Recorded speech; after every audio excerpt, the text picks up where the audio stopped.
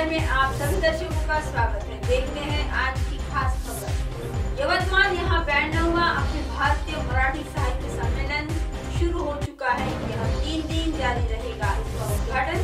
वैशाली एड़े उन्होंने किया। नवऱ्याला समजलं नाही। महा याच जन्मावर विश्वास आहे। म्हणून मी याच जन्मी लढीन व वायद्याची शेती फायद्यात आणीन। म्हणून लढत आहो। लढत नाही लढत आहो मी बारावी शिकली आहे. पण मी बहिणाबाईचीच लेख आहे. म्हणून ज्योतिषाले हात नाही दाखवत. जो कोणी अंगावर हात टाकतो त्यालाच हात दाखवते. हे शिकली मी आमच्या एकल महिला संघटनेनं. हरीश सरांचं ॲग्रो थिएटरमध्ये लेखन त्याचा बाजार साहित्य वाचलेलं नाही पण म माणसं वाचलेली आहेत. माणसं माणसं पुस्तकं वाचून नाही समजत. त्यांच्यासाठी मानता माणसाईतच जावं लागतं.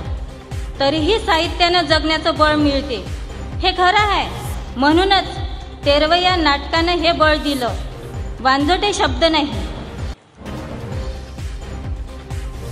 काम करते आमचे हरीश शितापे आणि श्याम पेटकर. म्हणून त्यांच्या शब्दात ताकद आहे. श्यामभाऊने हे नाटक लिहिलं हरीश भाऊनं दिग्दर्शक केलं. नाटकाचं काम करण्याचं प्रशिक्षण दिलं आम्हाला. त्यातून त्यातून उभं राहण्याचं बळ आलं. मर्द शेतकऱ्याच्या आत्महत्यांना हादरलेले सारे. त्यांच्या करून कहाण्यांना हेलावलेले. मात्र आम्हा बायकांच्या जगण्याचा मर्दानी संघर्ष नाही दिसला? बाई सोयीले असते. बोलणारी बाई नाही चालत. डोलणारी अन डोलवणारी पाहिजे असते. म्हणून दिल्लीवाली विधवा नाही चालली. मले बोलवलं. पण बोलणार तर मी पण आहेच ना? एक सांगून ठेवतो मी विधवा नाही आम्ही विधवा नाही एकल महिला आहोत. श्यामभाऊनं नाटकात वाक्य लिहिलं आहे समाजच विधवा झाला आहे तेच खरं आहे. एकली ग बाई असी तुपा संग पोई जशी. एकलीच्या भीतीनं जीव झाला गोळा. एकल्यावर रांडेवर साऱ्या गावाचा डोळा. एकटी बाई साऱ्याईले संधी वाटते. आजकालचे लक्ष्मण एकली वहिली एकली वहिनी पाहून लक्ष्मण रेषा काढते आणि ते तिला कोणी वाचवाले येऊ नये त्याच्यापासून त्याच्यासाठी तिनं बाहेर जायचं नाही आणि बाहेरच्यानं अंदर यायचं नाही आणि हा करण तिचा घास बाई सगळं सोडून येते कायले नवऱ्याच्या मागं त्याच्या घरात सारच बदलते ना तिचं कुळाचं नाव कुळाचं दैवत माय बाप गाव घर आणि बापाच्या ठिकाणी नवऱ्याचं नाव येते नवरा तर तिचं तिच्या नवऱ्या मायबापानं ठेवलेलं नाव बी बदलून टाकते. तिचं असं आपलं काहीच राहत नाही. अर्धी जिंदगी झाल्यावर अचानक सारं असं बदलून जाते. एखाद्या मर्दाचं असं नाव बदलून टाकलं आणि सारंच बदलून टाकलं आणि म्हणलं त्याले का आता जगून दाखव? तर जमन का त्याले हे? मी वैशाली धोटे होती. अठरा वर्ष वयाची होतपर्यंत माझ्या लग्न झालं. मी वैशाली सुधाकर येडे झाली. सुधाकर येडे सुरा सुधाकर येडेचं समजा सुधाकर वैशाली धोटे झाला असतात तर थोडा धक्का नाही सहन झाला. आणि खुदखुशी करून घेतली त्यानं. एकदा नवरा गेला का साऱ्या गावाला ते बाई संधी वाटते धन वाटते. जुन्या काळापासून गोधन आणि स्त्री पण धनच वाटत आली आहे आमच्या वाटेला आलेलं हे पांढरं कपाळ असं निसर्गाच्या नियमानं आलेलं नाही.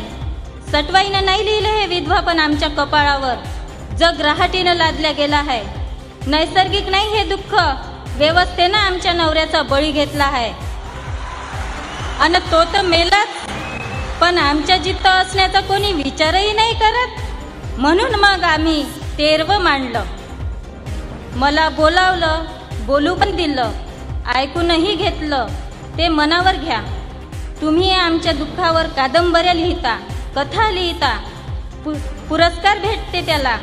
सिनेमे काढता. लेखक अन आम्ही कास्तकार. सारखेच. दोघांनाही भाव मिळत नाही. आता सरकार म्हणा म्हणायचं जुने लोक शेतकऱ्यांसाठी बोलले बोललेलं करत नव्हते. ते करत नाही बोलतच खूप. या संमेलनात त्रिस्तर उद्घाटन झाले असे मी जाहीर करते. या संमेलनात अशी या संमेलनात अशी चर्चा व्हाव की अभावानं जगणाऱ्यालेच भाव भेटाव. नमस्कार राम राम जय भीम सलाम हॅव अ गुड डे